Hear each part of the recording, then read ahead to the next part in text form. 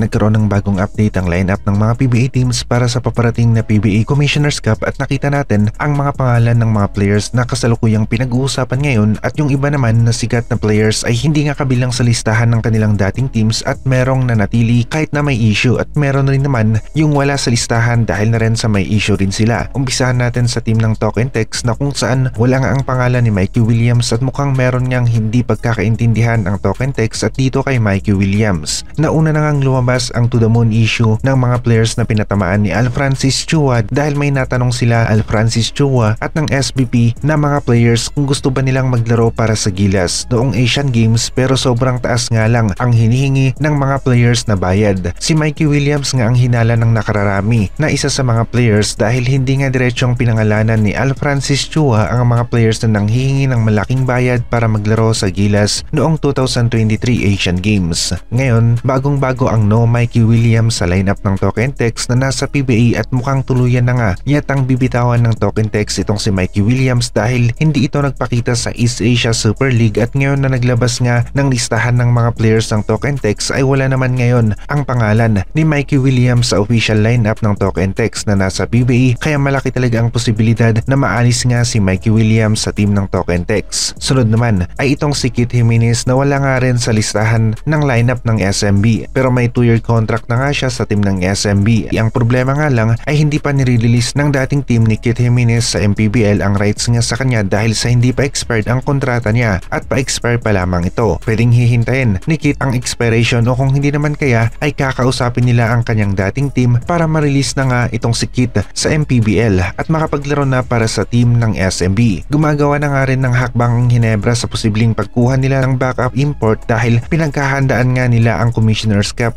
posible talaga na hindi nga si Justin Brownlee ang kanilang magiging import ngayon dahil sa nakabitin pa nga rin ang resulta ng kanyang B-sample sa doping test at kung nagpositive pa nga ito ay posible talaga na merong ban o suspension para dito kay Justin Brownlee at sana nga ay maging negative ang kanyang B-sample. Normal lang na maghanap ng ibang import o magkaroon ng backup plan ng Hinebra pero gusto rin nila na si Justin Brownlee ang kanilang import. Yun nga lang ay kung positive pa rin si Justin Brownlee sa B-sample ay, ay posible na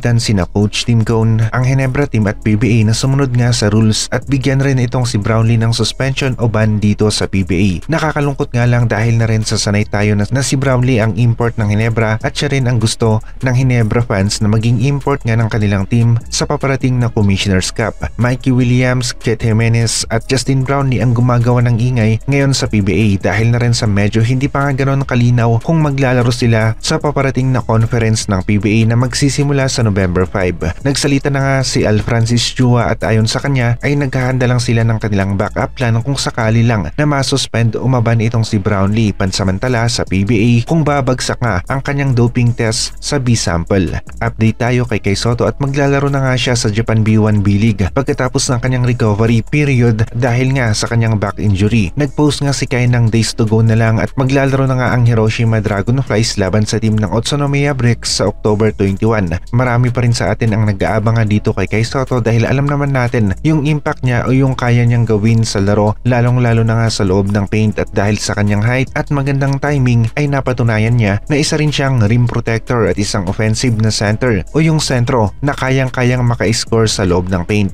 Kagaya rin ng mga ibang players ay hindi naman palaging maganda ang nagagawa ni Kay Soto sa laro pero kadalasan ay nakakapag-perform naman ito ng maayos. Otsunomiya Bricks na merong record na 3-1 ang kanilang makakalaban at tinignan natin ang kanilang lineup na kung saan nakita natin na makakalaban niya dito ang power forward ng Tall Blacks na si Isaac Fotu na naglalaro nga sa power forward position at merong height na 6'8. Hindi lamang si Isaac Fotu ang makakalaban Kai sa loob ng paint dahil nandito rin ang 6'10 power forward center na si Grant Jarrett na nadraft sa NBA sa second round at naglaro para sa team ng Oklahoma City Thunder Utah Jazz bago lumipat sa iba't ibang liga at napunta nga dito sa Japan B1 B-League at sa team ng Utsunomiya Breaks. Alam naman natin na hindi nga isang super player itong si Kay Soto pero kung nagagawa naman niya ang kanyang tungkulin bilang isang sentro at nananalo sila sa kanilang mga laro ay maganda na nga ito para sa record ni Kai at bonus na lamang kapag siya ang nagiging best player of the game at ilang ulit rin na naging best player of the game si Kai Soto dito sa Japan B1 B-League